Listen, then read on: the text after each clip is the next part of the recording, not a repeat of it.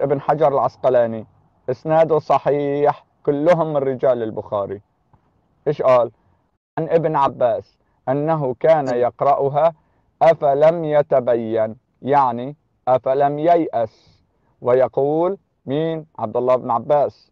يقول كتبها الكاتب وهو شو؟ وهو ناعس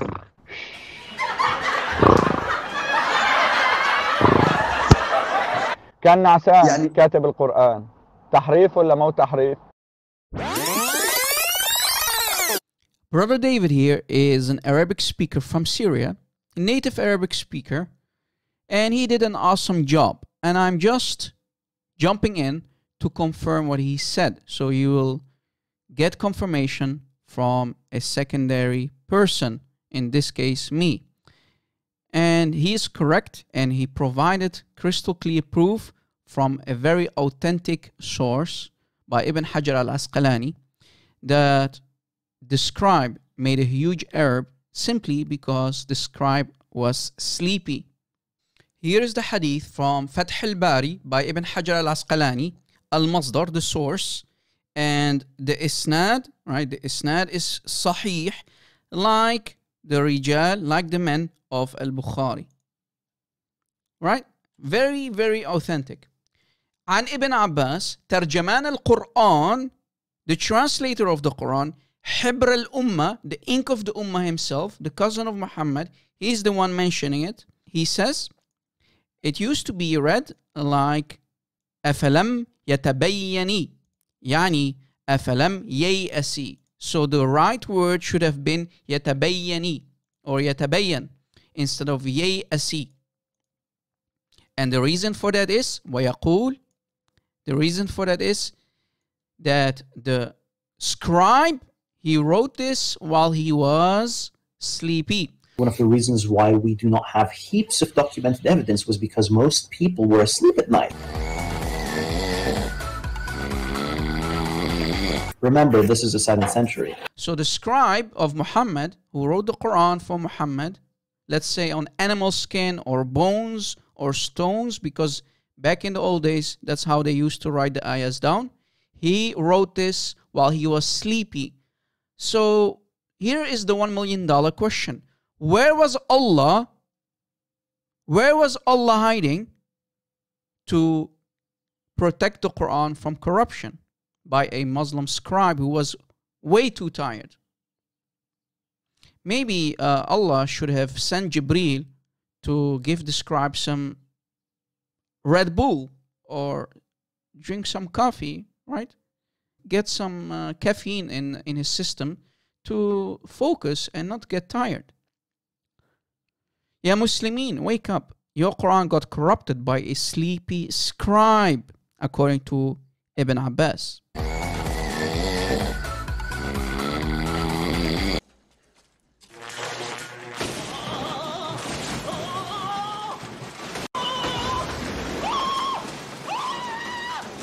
Okay, okay, let's back up a minute.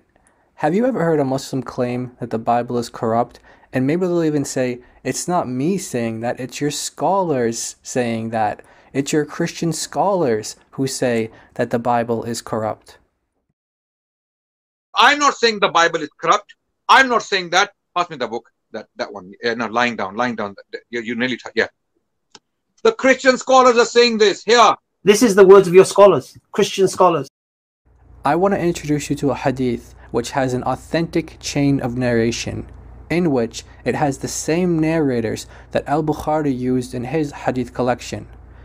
In the discussion I played earlier, a brother in the Lord who's an ex Muslim named David, who makes excellent videos and live streams, which I'll link his channel in the description, and I ask that even if you don't understand Arabic, please support and subscribe to this brother's channel and pray for his ministry.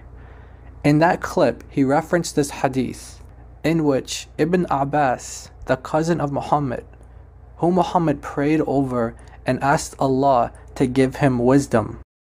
Whoever wants to see knowledge, let him go to Abdullah bin Abbas. the one who is called the scholar of the Muslim world. It's very important to note because in this hadith, he exposes the corruption in the Quran. That's right, the biggest Muslim scholar after Muhammad himself, claimed that the Quran, as it is written today, contains textual corruption. There are many references that narrate this hadith, and you can even find it in various commentaries as well. For this video, I'll just focus on that one hadith said it earlier by our brother David.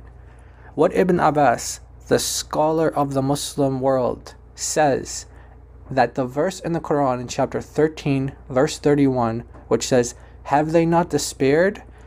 In which the larger context is asking the believers, the Muslims, if they haven't despaired or lost hope, that if Allah wanted to, He could have guided all of mankind. Ibn Abbas says that the word despair is incorrect. The word should be made clear, as in, has it not been made clear to the believers that if Allah wanted to, He could have guided all of mankind? And Ibn Abbas tells us how this corruption found its way into the Quran. The scribe, this unknown scribe, unnamed scribe, one might even say anonymous, The authors of all four Gospels are anonymous. this anonymous scribe that wrote the Quran was sleepy.